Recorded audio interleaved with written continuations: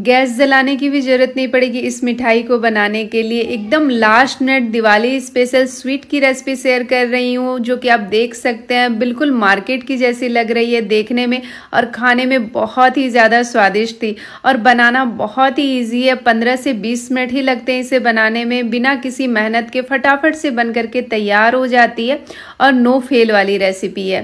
तो सबसे पहले एक कप डेसिकेटेड कोकोनट ले रही हूँ, जिसे कि नारियल का बुरादा भी बोलते हैं और ये आपको मार्केट में बहुत ही आसानी से अवेलेबल हो जाएगा। और साथ ही ऐड करेंगे आधा कप मिल्क पाउडर, कोई सा भी मिल्क पाउडर यहाँ पर ले सकते हैं। और आधा कप से भी कम। चीनी यहाँ पर ऐड करेंगे। मतलब मैंने यहाँ पर वन बाय थर्ड कप के करीब ही चीनी ऐड किया है। साथ ही दो हरी इलायची और सारी चीज़ों को एक बार क्या करेंगे ना, मिक्सर में चला लेंगे ताकि चीनी और जो डेसिकेटेड कोकोनट है ना, वो अच्छे से एकदम बारीक हो जाए। यहाँ पर देखिए मैंने छोटा वाला जार लिया था ना तो ये काफ़ी ज़्यादा भर गया मुझे चलाने में। थोड़ी सी दिक्कत आ रही थी तो आप बड़े जार का इस्तेमाल कीजिएगा। और इसे निकाल लेंगे एक बॉल में। और अब मैं इसमें ऐड कर रही हूँ दो ड्रॉप स्ट्रॉबेरी एसेंस। ये ऑप्शनल है, अगर आपके पास हो तो ऐड कर सकते हैं या फिर स्किप भी कर सकते हैं। इससे एक अच्छा सा पिंक कलर भी आ जाएगा। और अब मैं इसमें ऐड कर रही हूँ दूध।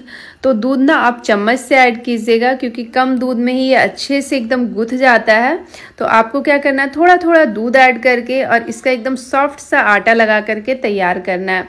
आटा बोल रही हूँ मतलब ये जो भी है मिश्रण, इसे लगा करके तैयार करना है। एकदम एक दो चम्मच ही दूध का मैंने यहाँ पर इस्तेमाल किया है। नापा तो नहीं था, लेकिन दो टेबल स्पून के करीब लगा होगा।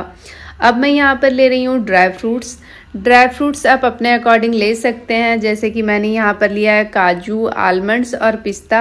आप चाहें तो सिर्फ़ आलमंड्स ले सकते हैं, या फिर आप चाहें ना तो टूटी फ्रूटी ले सकते हैं, मूंगफली को रोस्ट करके हल्का सा लाल करके और मिक्सर में दरदरा कूट करके भी आप यहाँ पर ले सकते हैं. इससे मैं स्टफिंग बना रही हूँ. और साथ ही मैंने यहाँ ऐड कर दिया दो चम्मच मगज के बीज. और यहाँ पर जो ड्राई फ्रूट्स हैं ना, उसे मैं मिक्स कर ले रही हूँ एक बार. और ये ना कप में अगर आप देखेंगे ना तो वन बाय थर्ड कप के करीब होगा। और जो हमने पहले कोकोनट वाला डो लगा करके तैयार किया था ना, उससे मैं एक दो चम्मच डो इस ड्राई फ्रूट्स में ऐड कर रही हूँ ताकि इसमें भी अच्छी सी बाइंडिंग आ जाए और ये देखने में और भी ज़्यादा सुंदर लगे। तो इसे ना मैं यहाँ पर पहले एक चम्मच से मिक्स कर रही हूँ तो फिर मुझे लगा थोड़ा सा कम है तो मैंने यहाँ पर एक चम्मच मिश्रण और ऐड किया है और इसमें अभी एक अच्छी सी बाइंडिंग आ रही है। आप चाहें ना तो ये स्टफिंग मावा से भी बना सकते हैं, लेकिन ये ड्राई फ्रूट वाले ना बहुत ही ज़्यादा स्वादिष्ट लगते हैं खाने में। तो आप ट्राई करके देखिएगा आपको बहुत ज़्यादा पसंद आएगा। तो ये ड्राई फ्रूट वाला भी डो मैंने लगा करके साइड में रख दिया है। अब मैं यहाँ पर ले रही हूँ ऑडी इको वे की हंड्रेड परसेंट इको फ्रेंडली है। अगर आपके पास ये नहीं होना तो आप किसी प्लेट के ऊपर भी इसे कर सकते हैं। अब हम क्या करेंगे, इसे रोल करेंगे मतलब बेलेंगे तो इसके ऊपर भी मैं यहाँ पर एक और इको बेक लगा रही हूँ, ताकि बेलन में ये बिल्कुल ना चिपके, और इसे ना हमें रेक्टेंगल शेप में बेल करके तैयार करना है। ना बहुत ज़्यादा मोटा रखना है, और ना ही बहुत ज़्यादा पतला रखना है। तो इक्वल ही बेलिएगा और कोशिश कीजिएगा ना स्क्वायर रेक्टेंगल में ही इसे बेलने की, ताकि जो हम मिठाई बनाएँगे ना, उसमें सेप बहुत ही बढ़िया आएगा। तो यहाँ पर तो मैंने ट्राई किया है रेक्टेंगल बेलने का, लेकिन मुझे फिर भी लग रहा है तो मैं यहाँ पर साइड से थोड़ी थोड़ी कटिंग कर रही हूँ। और जहाँ जहाँ मुझे कम लग रहा है ना, वहाँ पर ये मिश्रण मैं चिपका रही हूँ, ताकि ये परफेक्ट हमारा रेक्टेंगल का सेप ले ले। और आप देख सकते हैं, ये जो है ना, मैंने कितने अच्छे से बेल लिया है, और इसे मैंने थोड़ा सा लेवल भी कर दिया है। अब हम क्या करेंगे ना, इसे रखेंगे साइड में और जो हमने ड्राई फ्रूट वाली मतलब मिश्रण बना के रखी थी ना, उसे अब हम क्या करेंगे? लंबा करेंगे। मतलब इसे आपको बेसिकली रोल करना है, जिसे कि हम पहले वाले मिश्रण में स्टफ़ करेंगे। तो आप देख सकते हैं, हाथ से ही अब थोड़ा थोड़ा सा इसे प्रेस करिएगा और स्क्वायर का शेप दे दीजिएगा। बहुत ही आराम से ये हो जाता है।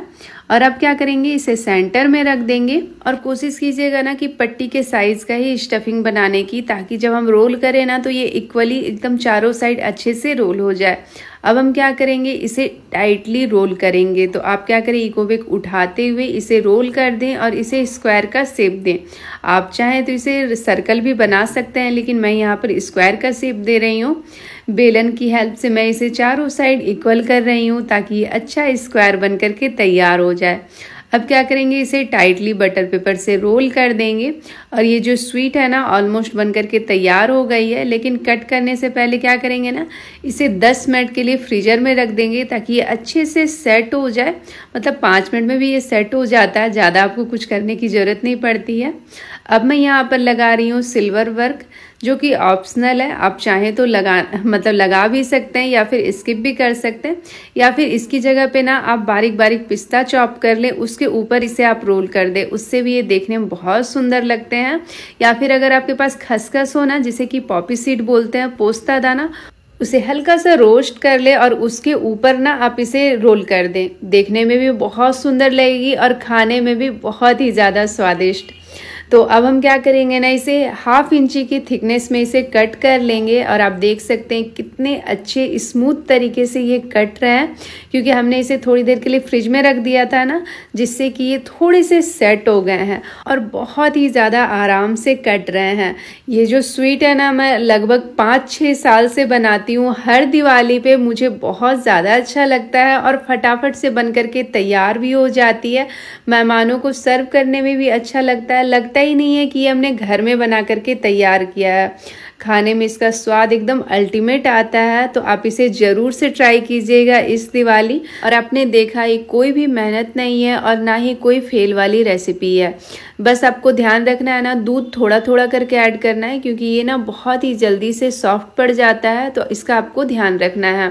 तो कैसी लगी आप लोगों को ये नो गैस वाली रेसिपी मुझे कमेंट करके ज़रूर से बताइएगा। और अच्छी लगे तो प्लीज़ वीडियो को लाइक कर दीजिएगा और ज़्यादा से ज़्यादा शेयर कीजिएगा। Happy happy Deepavali and happy Dhanteras. Bye bye. Take care.